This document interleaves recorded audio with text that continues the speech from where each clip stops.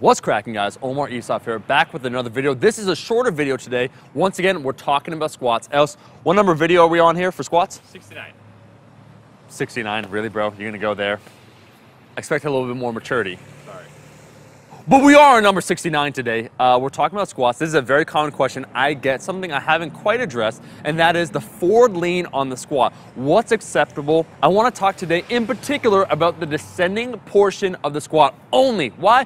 Well, I've already addressed that issue. If your hips rise early out of the squat, what is it? Well, you're usually running away from something. You're running away from weaker quads. So if you go into the hole and you're, let's say, pretty damn upright, and then after uh, the hole you try and push out, your hips just shoot really far back, and it kind of looks like a good morning, that's most likely a quad weakness. What we're talking about is something that most people observe, and that is as you increase the load, so as you get heavier and heavier in your squat. So say you go from 80% your one rep max to 90% to 100%, your torso angle as you descend into the hole, the bottom position, it becomes more inclined. It becomes more horizontal, let's say. So instead of being more upright, you lean a little bit further forward. This can be intentional. It can also uh, be something your body's just doing. Is this okay?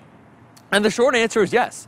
And that is because, and this is the greater message overall of this video, and it relates to the squat, bench, and deadlift, is that your technique isn't static depending upon the weight you use, your technique will change. It's not a one size fits all. It's the same idea with the deadlift. Your back, your thoracic area, your mid back might not round until you approach 90% or 100%, but a small degree of thoracic rounding on the deadlift is acceptable. But you'll only see that only exhibit itself once again at heavier loads. I got to give respect shout out to Bryce Lewis because I saw him post about this, I believe it was Chris Beardsley of uh, Strength and Conditioning Research that first talked about this study. This is something very cool. They took a look at bodybuilders. They made them squat to parallel. They made them do 80%, 90%, and 100%, and they wanted to see what up, what muscles are going to be activated as they continue to lift the weight, and how's the squat going to look. And the big thing that they noted is that their hip angle changed pretty dramatically. They leaned a little bit further forward as the weight got heavier. Not only that, but they also noted things we would expect. As the weight got heavier, they would uh, feel an increased activation in their quads. They would note that. They'd also see an increased activation in their glutes. But what's interesting, in the descending phase, they also saw, and only in the descending phase, an increased activation in their lower back, in their erectors.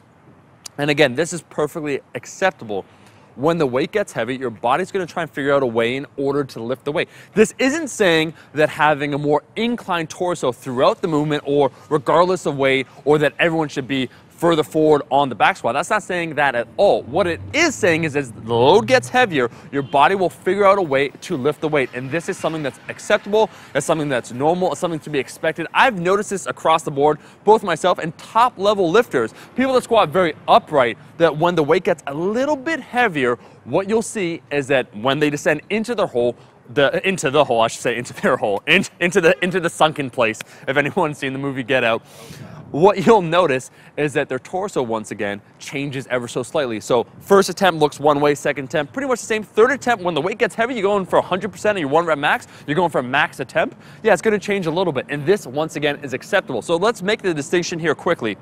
There's a difference between a good morning squat, so squatting one way all the way down, and then your hips just shoot up. That's a result of weak quads.